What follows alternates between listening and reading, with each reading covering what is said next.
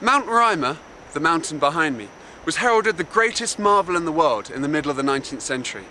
Successive explorers reached this exact spot and viewing the towering plateau from the lowlands, all suggested that the plateau surface would forever be beyond the reach of mankind. One explorer who stood exactly here suggested nothing but a winged Pegasus could ever expect to reach the mountain surface. Another explorer suggested that an immense scaffold up the 800 metre tall vertical cliffs might have to be built. Of course, both ideas were completely impossible in such a remote land as this. And so, by the end of the 19th century, Victorian scientists earnestly began to believe that the mountain surface could perhaps harbour prehistoric or ancient wildlife, or perhaps even dinosaurs. And so Mount Roraima became the inspiration for Arthur Conan Doyle's famous work, The Lost World.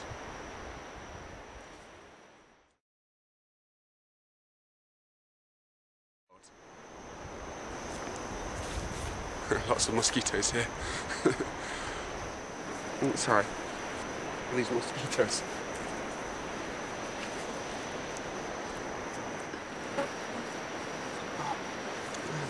These mosquitoes. Sorry. mosquitoes. Hundreds and hundreds of them.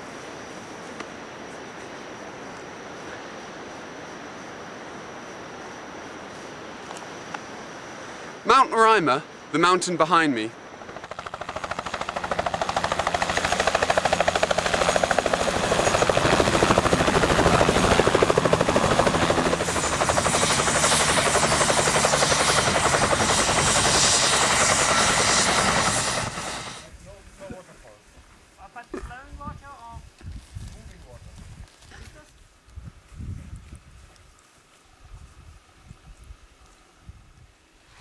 So, 125 years ago, after travelling for eight weeks across jungles, savannas, marshlands and swamps, Everard Thurn finally reached the top of Mount Roraima and discovered up here a land never before seen by mankind. A world which he described in his journal as some strange country of nightmares, and a land dominated by towering stone pinnacles and ancient plants and animals. Many of the plateaus of the Guiana Highlands are dominated by towering landscapes of immense stone blocks such as these. These formations have occurred because over millions of years uh, the erosive processes of the water, the actual chemical action of the water itself, has slowly cut up the sandstone which forms the tepuis.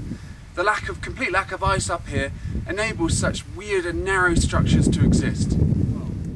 Many of the plants that grow here have had to evolve ways to augment nutrients, and many, such as these bromeliads, do so by catching insects. Each plant consists of a rosette of leaves half filled with water. Insects fall in, drown, and are digested, which releases nutrients which the plant can absorb directly through its leaves. This enables bromeliads such as these to grow in areas completely devoid of sediment, rooted directly to bare rock.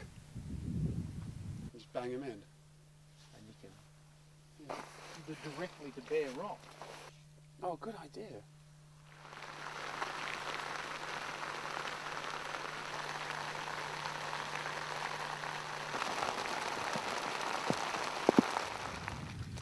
Even though the Lost World on top of Mount Roraima did not harbour the dinosaurs which Victorian scientists had earnestly anticipated, the summit of the mountain is home to many ancient living fossil species that have persisted here for millions of years, virtually unchanged. The plateaus of this region are among the wettest places in the world. Rain falls almost every day and washes away all sediment before soil can accumulate. As a result, many of the plants that grow here have had to evolve ways to augment nutrients, and some do that by catching insects. On many of the plateaus of southern Venezuela, there are pitcher plants, and in most cases, each species of pitcher plant grows only on one mountain and nowhere else in the world. Nowhere, else in the world. Nowhere else in the world.